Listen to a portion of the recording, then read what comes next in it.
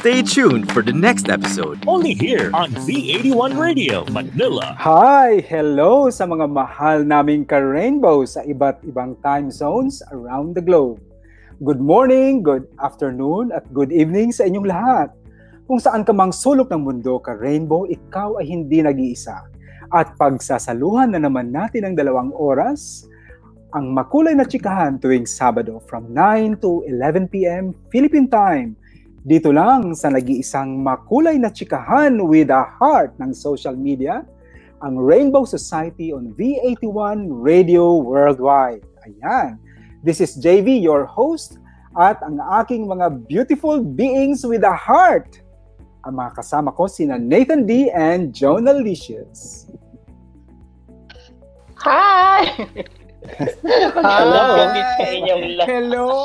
Hello mga ka-rainbow. Wow. Kita-kita na naman tayo sa ating Oo. chikahan tuwing Sabado, ha? Saturday na naman Ah. at nandito na naman tayo, di ba? Um, I would like to greet everyone, all the LGBTQ family and members. Nako, uh, tomorrow here in Manila, it's LGBT Pride March actually. Pero wala tayong March ngayon. So dito muna tayo sa digital and I would like to introduce to you our co-host, Miss Lovely Jonah Licious. Ayan. Oh, hi! Good evening, magandang umaga, magandang tanghali.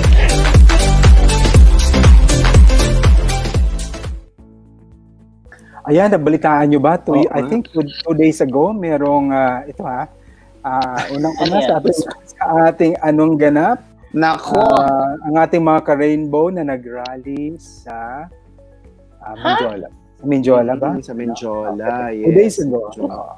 So anong anong Okay. masasabi natin sa ating ma- sa mga pangyayari ngayon? Especially ay mga Mhm. ka-rainbow natin yan. Actually, ah, pinag-isipan ko rin yun, no? Sabi ko, nako, ang mga paglalaban natin. Eh, pwede naman sigurong hindi nating dalin, kagaya nga kanina, sabi ko, ang celebration ng ng um, pride natin ay pwede namang digital, di ba? Correct. And yeah, so I think we have to I mean um not have to but on on my own. On my own, I really want to change nagsisimula is to change yourself, di ba? Sabi nga nila, if you want to change the world, make your bed. Ayan, di ba? Make your bed. So, pagising mo pala sa umaga, ah, ibahin mo ang iyong pananaw, ibahin mo ang iyong ah, ayun, ang iyong bed, 'di ba? Minsan nakakalimutan natin 'yan, make your bed 'yun. So, sa mga nakakaintindi sa akin, yes, change the world by making your bed. Yun lang, JV. Ay, Kabog. Oh, journalicious, ano naman ang masasabi mo sa mga kaganapan ngayon? since napaka-positive ng sinabi ni Nathan D, ako naman siguro, ah, sana, ah, there's nothing wrong naman kung mag-rally tayo or whatever, kung ano gusto natin ipaglaban. But at the moment kasi, nasa pandemic time kasi tayo. So, para sa mga ka-rainbow, we better to stay at home na lang. Like sabi ni Nathan na digital naman. So, isipin muna natin ating sarili at mga pamilya at maging safe tayo. Para na rin, as a Rainbow Society, ayun na, na lang i-contribute natin sa society natin ngayon ang maging tahimik na lang sa pamamahay natin. Okay? Pag na tayong gumulo sa kalsada sa mga frontliners kasi marami na yung mga Alam niyo mga ka-rainbow, ang mga ako rin nakikiisa ako sa sa advocacy ng ng ah, ating ah, LGBTQIA. Ah, ngunit ngunit hindi po lahat sa atin siguro sasang-ayon kayo sa akin kung sasabihin ko na hindi lahat tinatawag sa kalye. Hindi lahat ang pagpoprotesta ay idaan natin sa pagsisigaw. Maraming paraan kung paano natin ilalahad ang ating protesta at hindi lahat tinatawag sa kalye. Dito sa Rainbow Society, pinipili namin na nagsusumikap kami ng aming ang form of advocacy namin at activism namin ay dito sa Himpapawid upang baguhin ang ah, or to contribute to change the mindset, yung kamalayan, consciousness ng nakakarami. Ayan po. Mhm. Oo. Correct. Yeah. Tama, in Tsaka our own little ako. way, JV, Yeah. no? In our own little Tsaka worried ako doon sa mga nagprotesta ano kasi hindi natin alam uh, invisible ang ating kaaway, itong virus na ito. Kapag umuwi na tayo sa, kan- sa ating uh, kanya-kanyang tahanan, hindi natin alam meron tayong mga immunocompromised na mga kasama, mga senior sa bahay, galing tayo sa labas, na-expose tayo sa labas. Paano na lang sila? Alam mo yon Paano na lang ang ating mga kasa- kasama sa buhay, mga kasambahay natin, mga kapamilya natin, na pwede tayong maging carrier hindi natin alam Correct. yun. Ha? So, dobling pag-iingat lamang mga ka-rainbow. Kailangan sa panahon ito, gagamitin natin ang ating sentido komon. At i-apply natin ang ating discernment sa lahat ng panahon. Hindi tayo uh, dinidiktahan sa bugso ng ating emosyon at damdamin kasi mapapahamak talaga tayo. Bagos, isipin natin. Isipin nating mabuti ang ating gagawin. Okay.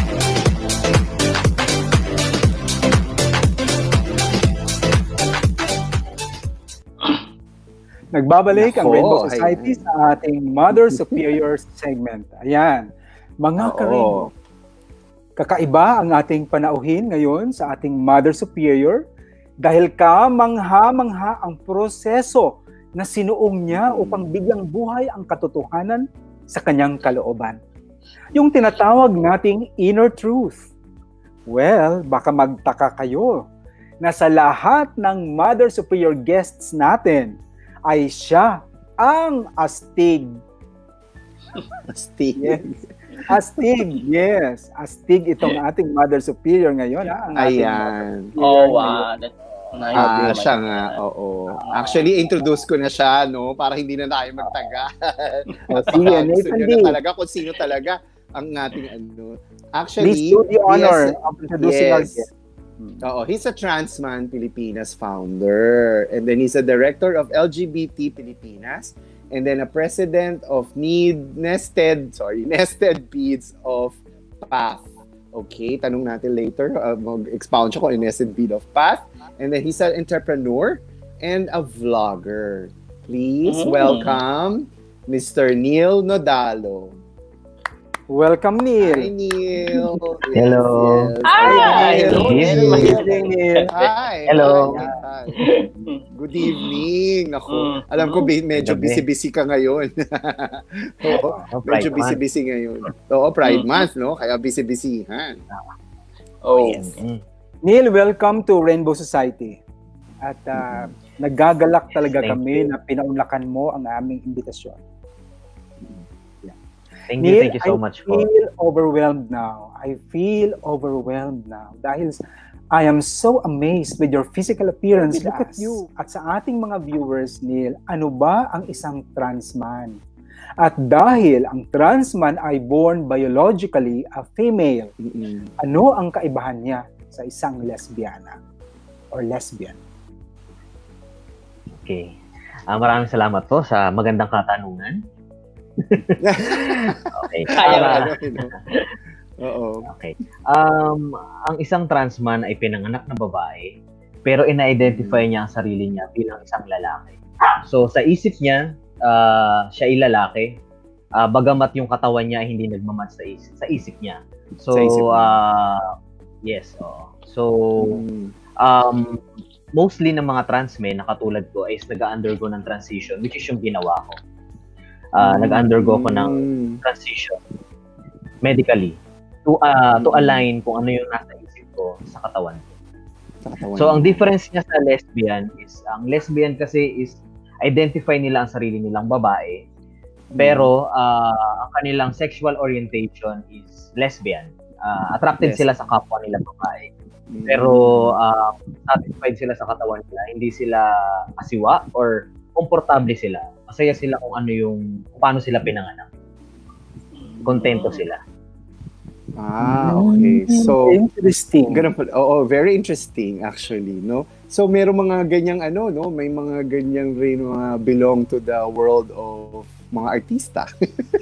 di ba? Mga artista, di ba? No, nag-trans man sila. Di ba? Pero karamihan ba ng lesbians na nakilala, actually, mga nakilala ko ay kontento na mag-express na kanilang ah, pagkatao. But in your case, you went further to transform your physical your physical self into a man, di ba?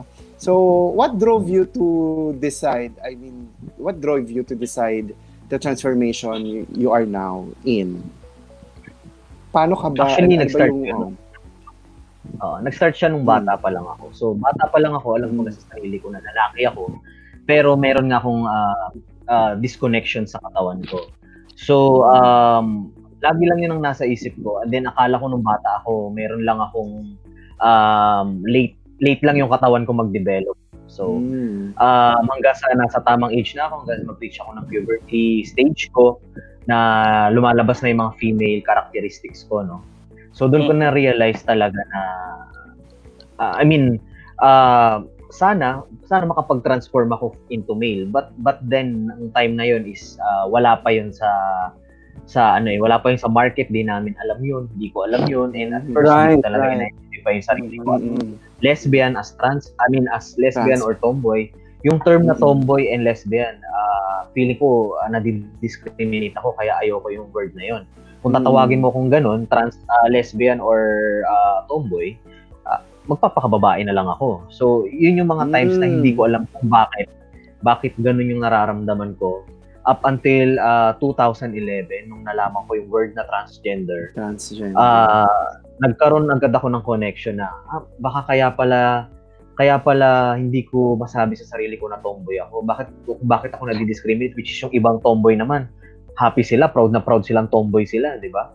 So bakit ako hindi? Baka anong anong anong mali sa akin? So hindi ko rin naman matawag talaga sa sarili ko na lalaki but kasi because hindi ko hindi naman ako pinanganak na na biologically male Yes. nasaan ako, di ba? Bakit ganun? So, nung 2011, nung nalaman ko yung word na transgender, transman, doon ko na-realize, kaya pala, ito pala ako. Ito ito pala yung pagkatao. transition ka. Of course, you have your family members with you. Ano ang naging um, reaksyon nila na nakikita nila na unti-unting nagbabago si Neil sa, right before their eyes? Physical. Oh. Yeah, physically. Ah, honestly, syempre yung yung yung ano ko, yung partner ko that time, yung girlfriend ko that time, na asawa ko na ngayon. And syempre Yeah. yung mother ko kasi sing- single mom siya. So hindi madali kasi lalo alam sasabihin mo na nagte-take ka ng medically. So parang ano 'yan? 'Di ba? Parang ba- bakit kailangan mong gawin 'yan, 'di ba? Syempre usisain nila yun, which is natural, normal 'yun. Ah, that time medyo nahirapan ako i-explain dahil wala talagang wala from scratch eh from zero eh, di ba? So, hindi siya katulad ng trans women. Alala ko 2011. Yung Mas bago, 2011 mas eh, early. parang nandito, nandito na sila eh. Sa, eh, parang Mm. 2020 na eh. Meron Nauna na. kasi sila eh, di ba? Mga trans Mm. women. Tsaka super out sila and all, di ba? Mm. So, Yes, uh, Neil. pero alam niyo sir, napakahalaga, pa, napakahalaga pa rin yung ano, uh, maipakita natin sa society na trans men and trans women is, exist. I mean, we What exist. about Yeah. pag nagta-travel ka when you, you Don't are travel. using your passport? So, paano yun? Actually, um, ako, hindi ako natatakot, uh, honestly. Kasi, um, legit naman yun eh. Oo. Kahit saan tayo correct. makarating, kahit saan tayo makarating, legit yun. I can explain myself. Kaso ang problema kasi, papaano yung mga taong, like, kun- kunyari, trans sila, pero stealth sila. Hindi sila, hindi nila lantaran na trans sila. Tapos mangingibang bansa sila. So, na, imagine ang napakahirap yung torture na pwede nilang pagdaanan. Mm, Kasi hindi na match eh. Hindi na match yung aming physical sa aming birth certificate, sa aming mga documents. Napakahirap. Hindi naman lahat ng tao katulad ko. Hindi naman lahat ng tao super out or very palaban or kayang explain Mm-mm. yung sarili nila. Paano yung mga taong Correct. hindi? Kaya alam mo yun, napakahirap ng case namin. Yan yung Mm. number one na problema ng transgender community. Documents. Mm, documents. Yeah, totoo. tama. Totoo yan. Totoo yan. Pero Pero at eh, least, no, ulo- meron. Oh, pero at least meron ng medyo, kahit unti-unti eh, may pagbabago, di ba? At least nandun na ang Sochi Bill. At, At saka, ang mahalaga, meron silang lalapitan. Yun yung Yes. Mga Ayan. ka-rainbow, natunghayan natin ang isang nakakamanghang life-changing transformation sa katauhan ni Neil Nodalo. Ito ay isang patunay na malawak at komplikado ang buhay ng isang tao. Isang buhay na mahirap ilagay sa kahon o sa molde na nakasanayan natin. Para sa akin, ito ay isang imbitasyon na lawakan pa natin ang ating pangunawa upang maiwasan natin ang panghusga or paghusga sa ating kapwa. At napag, napag-uusapan din lang ang pangunawa sa aming pagbabalik, isang letter sender ang humingi ng payo upang mas maunawaan niya ang kanyang kalagayan tungkol sa kanyang relasyon. Magbabalik po ang Rainbow Society. Tell us in the comment. Don't forget to hit the like button and share this video with everyone you know.